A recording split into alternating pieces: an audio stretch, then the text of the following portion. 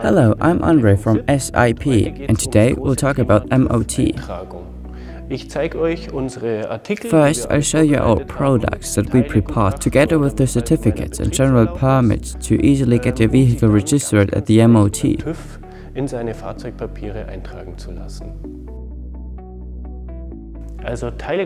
So the parts certificate and a general operating permit are um necessary to drive a vehicle in public road traffic without losing the insurance coverage.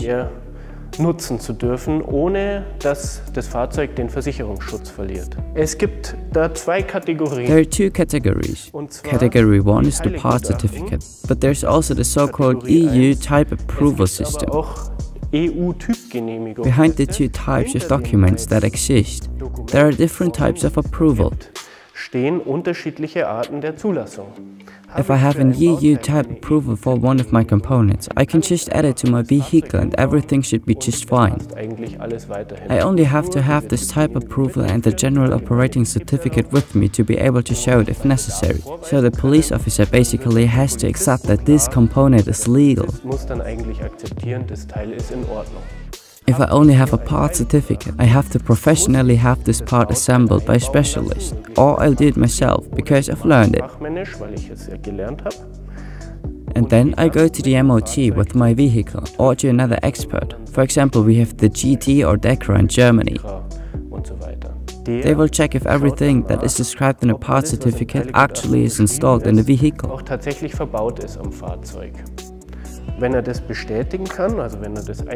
If they can confirm that, they note the changes, which is summarized here for the examiner, into the vehicle documents. Ähm, er dann in die Fahrzeugpapiere übernehmen. Ich ordne jetzt mal. I will now assign the parts to the two types of documents that we have here. Äh, ordne ich mal die Teile zu.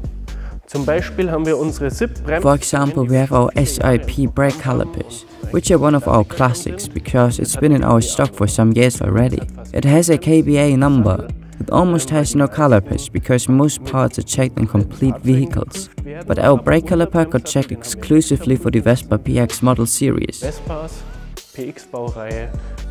And then we got a KBA number. It's the same case with our rims. For example, this one, the 8106. Basically the standard rim for the Vespa PX made of aluminum. It's tubeless, also got a KBA number. So that the shock absorbers, that are very high quality, also have a KBA number. Then there are the other parts. These are the ones with part certificate. We have had recently many parts reports prepared and I could only prepare a small selection of parts for it now. For example, for this crankcase. The engine case fits Primavera and Vespa 50, for the old 50s basically, and that part certificate confirms that this part is actually as good as the original. A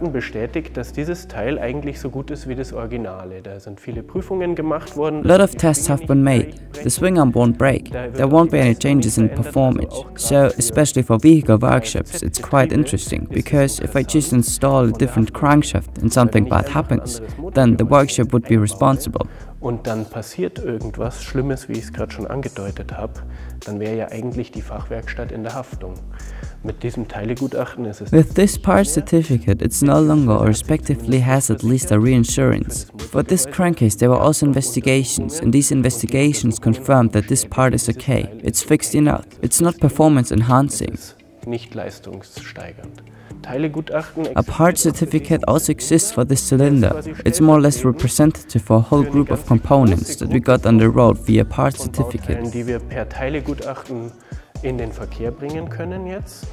Like those conversion cylinders for PX80 to 125. We really tried hard. It's something special. It's based on an existing product. We have developed a nice combustion chamber and a nice cylinder head for it which he manufactures specially with the conversion kit. This vehicle really gets close to 9 HP if I'm not mistaken. Ähm, this is more than an original PX125 has. We already did the measurements for you and the MOT inspector can take the values from here. In addition to this cylinder which now only applies to the PX80 to convert it to 125, we still homologated many cylinders which are very very popular. ähm, homologieren lassen, die sehr, sehr beliebt sind. Das ist This is a DR177. This is the classic for every 125 and 150 Vespa. Then we have a Polini 170. This one has a little more power. It's awesome to go on road trips. And for the Vespa 200s, we have our classic, the Malossi 210. Everyone knows it. We also certified it. haben wir auch mit einem Teilegutachten versehen lassen. Und zwar nicht nur mit einem Teil. And we didn't just get one part certificate, but a whole bunch of them. Sondern wir haben eine ganze Palette von Teilegutachten machen lassen. Das heißt, da ist dann der means the cylinder itself is a certificate. Cylinder and exhaust have another certificate, and cylinder with exhaust and carburetor have another certificate. Zylinder mit Auspuff und Vergaser in einem anderen Gutachten. So haben wir eine ganze Palette. So we have a whole range and we believe that every customer who is interested in a powerful touring scooter finds suitable parts. Tourenroller ähm, auf jeden Fall wieder. Eins von diesen Teilegutachten-Kits I have prepared one of these part certificate kits and now I would like to unbox it here with you in a monumental moment, right? in einem monumentalen Moment ähm, mal hier unboxen, oder? Ich finde den Cutter I can't find the cutter though. An untouched package from our warehouse. It's always a bit like Christmas. Inside is a nice big racing exhaust. Also small parts. And there is the Malossi cylinder. Looks as usual. Wie man ihn auch sonst kennt. I show you now what the difference is between the parts that have been homologated by us and other parts, which we also have in stock for a cheaper price, but which are not homologated. die äh, zum günstigeren Preis erhältlich sind, die aber eben nicht homologiert sind. So this Malossi cylinder kit is in principle a completely normal Malossi 210 cylinder kit with the difference that we measured internally if the channels that influence performance are as we did the performance measurement back then. gemessen haben, ob die Kanäle, ähm, die ja die Leistung beeinflussen, so sind, wie wir damals die Leistungsmessung machen haben lassen. Und wenn wir zu dem Ergebnis kommen, ja, okay, If we come to the result, okay, the outlet is just like it was before, then this cylinder gets a signature.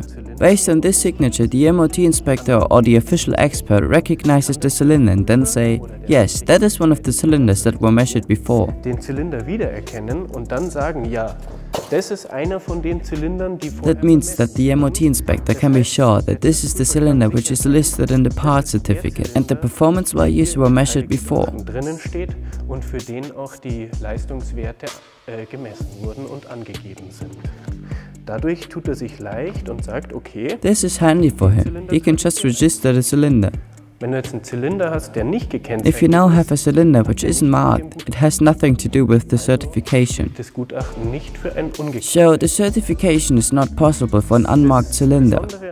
The special thing about our kits is that you also get an exhaust which has a signature back here on such a badge. Über eine Kennzeichnung verfügt, hier hinten an so einer Plakette the only racing exhaust that you can also drive on tours, because it's nice and narrow, and because it's so well made that after 5000 kilometers or even 15,000 kilometers, it doesn't tear up. So for once, I'll unpack it and only show it to you briefly. This is the legendary SIP Performance 1.0 exhaust. It has been around for quite a long time. They are much more powerful exhausts today, but unmatched to that build quality and above all that, the durability. It also has a relative gentle performance development. In my eyes, pretty much the maximum you can get to drive on a long tour if you don't want to have a nervous breakdown. I'll just repack it quickly. I told you everything about part certificates, ABEs, EU type approval systems, registrations, noise, performance, MOT inspectors. In the next video, we will drive to the MOT test center and check out if everything works like I said. Subscribe to our channel or subscribe to the email newsletter and you will definitely stay up to date. And we will notify you guys immediately when there's something new. teilen euch sofort mit, wenn es was Neues gibt.